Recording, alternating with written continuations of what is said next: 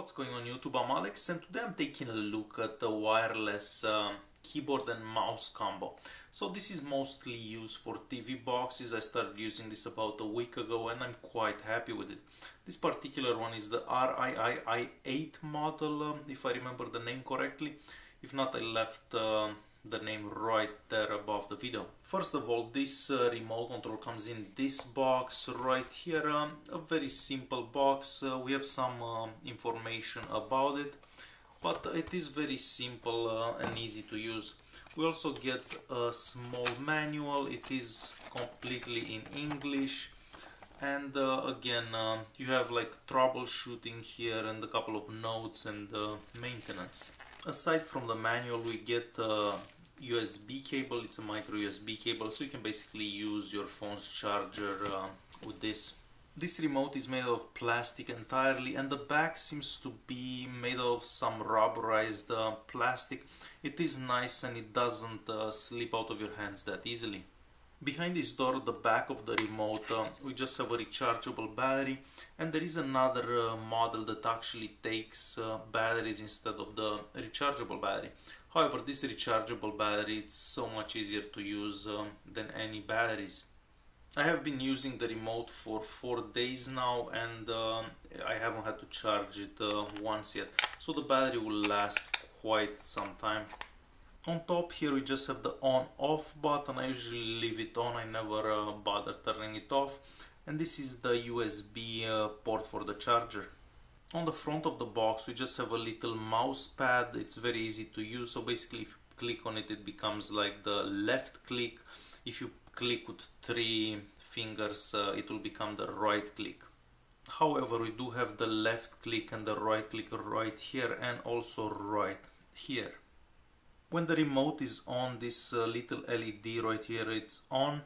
Uh, right here it will flash uh, when the battery is low and this one uh, here it will show you that uh, an input has been uh, put on the remote. So for example if I press on this it will turn on. The buttons are very clicky and very very easy to use there are a couple of functions that you'd use if you connect this uh, to a Windows uh, computer, stuff like that. But for a TV box, uh, you don't really need uh, the added functions. We have a couple of shortcuts uh, right here. So this one um, will open the browser, this one will take you home, this one will open uh, Google Now. This is the mute button, this will open your email and this will open the video player. So it's very, very easy to use and very easy to set up in order to set up the box you're gonna take this uh, from the back of your box. So this is actually sitting behind the battery right about here. So you're gonna take this take your uh, TV box plug this in and that's it. It is set up and you don't actually have to do anything. This is a quick demonstration uh, so I can show you how the remote works. So I have the remote connected to a TV box at the moment so basically, if the light is on here, uh, it means that the remote is on and it's connected to the USB plugged into the box. So this is the mouse pad right here and if you look on the screen, uh, you're gonna see that uh, basically whatever you do on the pad, uh, it's gonna show up onto the screen. If you press onto the pad, it acts as a click. So if you press with three fingers, it acts as a back button. You do have these buttons right here on the left hand side and uh, they do the exact same thing. We have a couple of buttons right here on top so if we press the email one uh, the email app will pop up onto the screen so whatever you have uh, set up will open.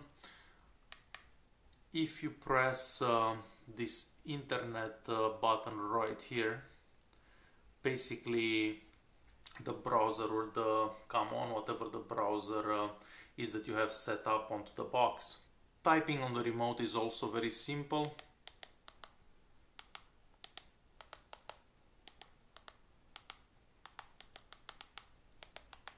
To scroll up and down basically you're just gonna hold two fingers onto the pad and you can scroll up and down very easily.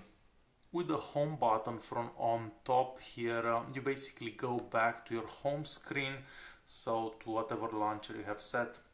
The search button on top here uh, will open uh, Google Now if you have it set up on the box or uh, whatever you're using.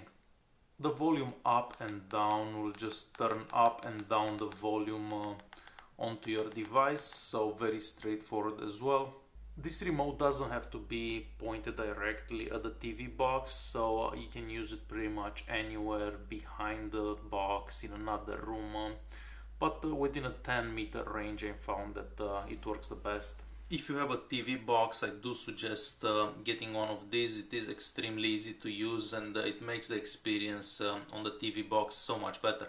Thanks for watching and don't forget to subscribe.